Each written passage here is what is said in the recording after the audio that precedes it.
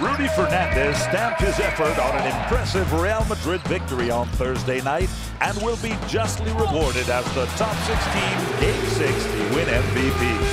Fernandez was seemingly everywhere as Los Blancos kept their perfect top 16 record with an 86-78 overtime victory over CSKA Moscow. Rudy scored 20 points, grabbed a career-high 13 rebounds, dished five assists, and collected three steals in totaling a performance index rating of 34, which is not only the best of Fernandez's impressive career, but the most among any player in the eight top 16 Game 6 contest. His supreme effort could be summed up with one of his final plays, a diving save of a rebound under CSKA's basket with 32 seconds left in overtime, which helped preserve the one-point lead.